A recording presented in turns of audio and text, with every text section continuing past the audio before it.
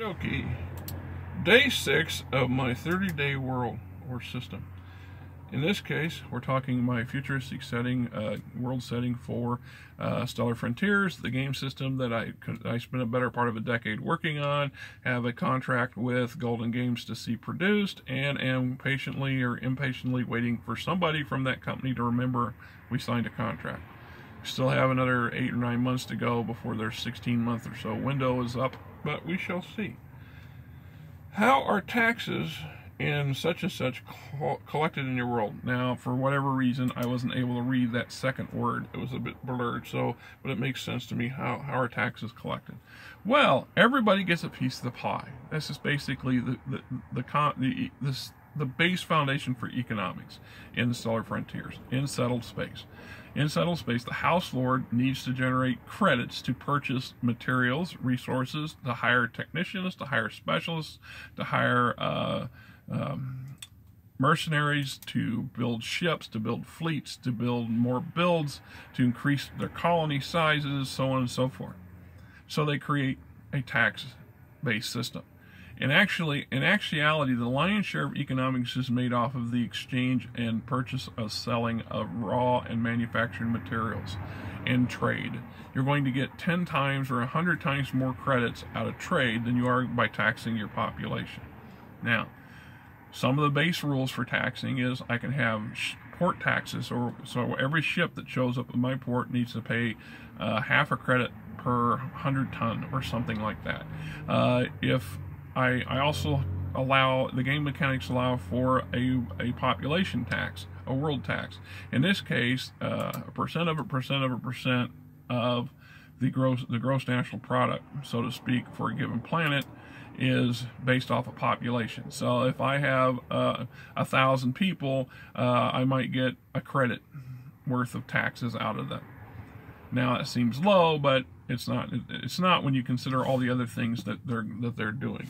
Now the economic system is based off of a a one was it one for one for three or something that effect.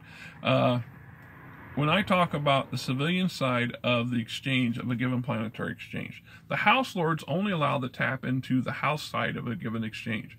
So if I have a corporate entity, a platinum or a guild or whatever, uh, running a number of factories on my planet, they are going to produce, let's say, four tons of steel in a given cycle. And the House Lord's uh, tax on that is one ton. So the house gets one ton of steel from this factory every cycle without cost and it means there's an additional three tons of steel being sold on the civilian side of the market. The civilians three tons is what's being purchased by these other platinums and other manufacturing entities to produce more builds and production materials and so on and so forth.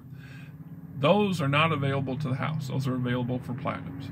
The house's take is now got is a is the material that he, the house lord allowed to allot to building projects the house is pursuing or to sell outright. So if I accumulate 100 tons of steel in my exchange and I have an open market exchange for the planet because it's that type of planet, then a ship merchant comes through and he rolls purchase one of the items he purchases when you roll when you roll up for it is steel he's going to purchase the steel supply that's in the open exchange at the going rate. So the going rate might be 67 cents 0.67 credits on the ton. So in this case, I'm going to sell 100 tons of steel for 67 credits. This is where the house lord pockets additional credits. So where the value here is, obviously if I keep my stockpiles slim, the lower they are, the higher, the more they're worth because the demand's higher. And in this case, I, I warehouse the balance. So if I choose to keep the minimum 50 tons uh, available, so I or tw uh, 25 tons available, so I can get that higher pay rate, 75 cents a ton, then I'm going to do that. I'm going to warehouse the rest. Now, how would I make money off the rest? Well, if I'm not using it, if it's a surplus material and I'm not using it in construction projects and builds and things, I can then where I can load it up on a freighter. I can either contract to a third party freighter to take it for me, or I can use a house freighter and save money. and take it to a trade world, for example, once I've located one, and potentially sell it there for three or, or two to four credits a ton. So if I say took 100 tons, I could potentially make 67 credits if I sold it to a local merchant, or I can ship it off to a trade world that's 30 years, 30 light years away, and it might take my ship eight cycles to get there and cost me five credits worth of fuel and, and supplies to get my crew there, and then turn around and make 400 credits off that 100 tons. That's the big way to make credits for the house.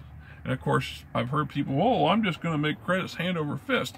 They don't take into account is I'm going to need, my house needs starfighters and war knights and weapons for my soldiers. I need manufactured materials. I need, maybe I need a, you know, 300 tons of electronics to complete that research facility I want to build. Well, at that point, I'm going to turn around and buy the electronics from the manufacturer from the trade world. Perhaps I'm going to get them for four cents on the dollar, so I could get a hundred there for three credits and ship it home.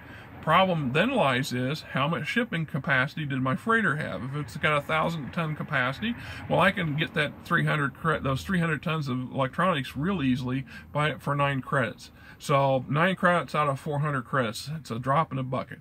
But I want to buy 12 starfighters so I can outfit a, a, a, squadron and I want them to be heavy fighters and those fighters cost 25 credits a piece. Now you see where the value or where your money starts to go. So how do we get our taxes? Now it's assumed that each step of the way above the house, the Imperium gets a piece of it too. And it's not accounted for in the House Lord's uh, initial system. Because the house the house imperium the imperium gets their taxes not from straight from the house lords but from that material that's been shipped. So that trade world is going to give a cut to the imperium. So of that 100 tons of steel you just sold to the to the trade world 25 tons of it is opted over to the Imperium. The Imperium is going to then either uh, accumulate it and utilize it for its own its own projects, its own manufacturing, and other necessary needs, or it's going to turn it around and resell it to somebody else and use that money for finances. That's the basic system for economics uh, for Stellar Frontiers. So there you have it. Thank you for watching.